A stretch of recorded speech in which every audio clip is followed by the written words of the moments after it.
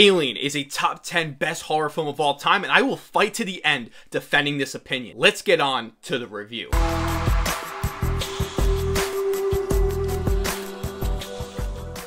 How are we doing, everybody? This is Let's B Reel Brad. Today, we are going to be talking about one of the greatest horror movies of all time. The 1979 classic Alien was directed by Ridley Scott. After watching it in the theaters last month with my girlfriend Maddie for its 2021 re-release, I decided I need to review after seeing it for the third time. Ever since the first time I watched it, I've been itching to watch it again because of how fantastic and thrilling this movie is. So without further ado, let's get right into the positives starting with the horror itself. Since being a horror movie, the scare and thrill factor obviously has to be one of the most critical aspects for this movie to work. This passes that bar being one of the scariest and uncomfortable movies I have ever seen. The film puts you into this world of the uncertainty of not knowing what is happening, being in the character's shoes, feeling as if we are going on this journey with them. The suspense and mystery build as the film goes along until we get to the infamous infamous chest burst scene, which is one of my favorite scenes of all time. After that, the horror ensues beautifully into the film, making me so uncomfortable and sitting on the edge of my seat with a hundred level anxiety. It amazes me that 41 and a half years later,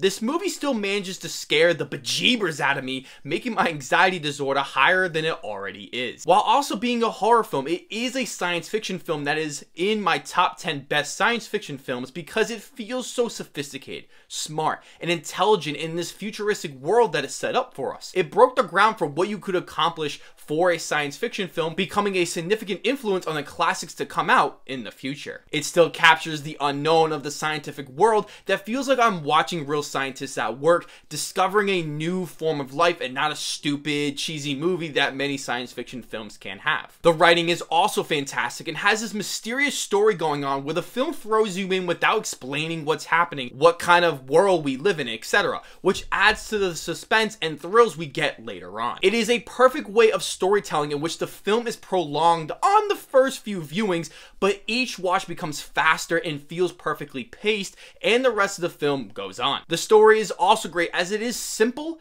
and straight to the point. A crew is dealing with an alien that comes on board and they have to stop it. They take this simplistic idea and expand that into a more complicated, mature, and scientific way that leaves you wanting more as the film goes on. The film is one of those classic movies that slowly builds throughout the runtime to the point where all hell breaks loose. It is this non-stop building to a perfect climax. The story has been copied and emulated into future movies, which showed how influential this movie really is. This is also one of the cleanest and aesthetically beautiful looking films I've ever seen. The 4K Ultra HD remaster looks so vastly clear, cleaning up the film's darker parts that make this film look even better. It looks brand new on this transfer, which shows how perfect this movie looks from a 41 year old movie. I love how the film looks when they're in white rooms that look aesthetically pleasing and crisp. Dark-filled scenes also look marvelous, especially in the third act, which popped off the screen. The directing is outstanding in creating the perfect shot composition. All of the shots are framed in such a detailed and sophisticated way, especially how they reveal the alien's look, which is film school material. I love how the camera slowly moves throughout the scenery,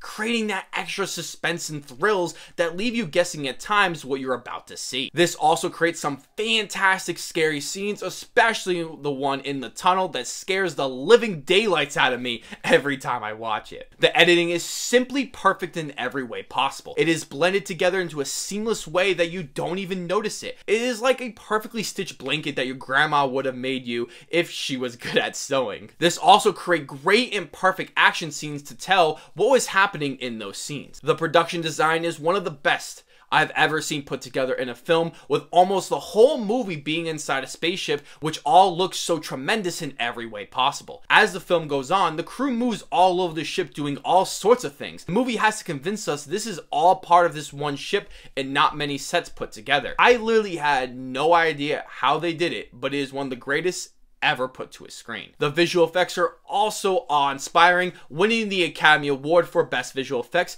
is rightfully deserved. It truly does feel like they are in space the whole time when we get to see outside the ship. The scenes on the alien craft are simply mind-blowing with all the disgusting alien effects look so perfect and still equally disturbing to this day. They used all practical effects for creating the alien that looks as scary as it did in 1979. It seems so convincingly real, especially in the way Scott uses the camera to capture these scenes. It is so influential in that way. The score is one of my favorites for a horror film that seeps into the uncomfortable feeling this movie creates. It has this mysterious classic Twilight Zone feel if you know what I mean. It is so gorgeous and beautiful to listen to. Jerry Goldsmith composed the score and it is one of the most excellent scores ever. The acting is also fantastic with Sigourney Weaver being the star of the show who will ultimately be the main staple of the franchise, being one of my favorite female characters in movie history. She is so badass with taking on the leadership role with being the most intelligent of the group. She is a resourceful and likable character that makes you feel emotionally attached to her character even though we don't know much of her backstory. The costume design is also tremendous with having very realistic outfits that all suited the theme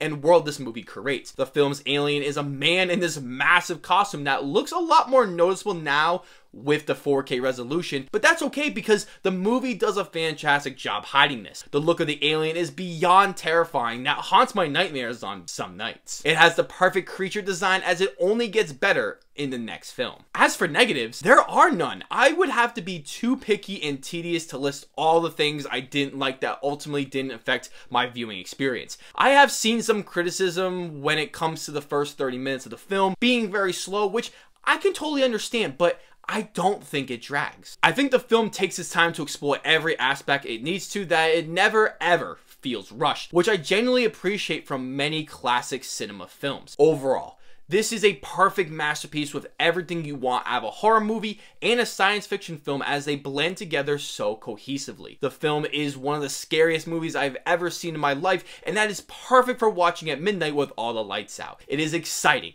thrilling with great acting, production design, makeup, and gets better on each rewatch. I'm giving this film a 10 out of 10. Have you seen Alien? If so, what did you think of the film and what is your ranking of all the Alien films? Let me know down below in the comments section. Before you check out of this video, don't forget to give the video a like and subscribe to the channel if you haven't already so you never miss a new fun and exciting video. As always, I will see you all in the next video.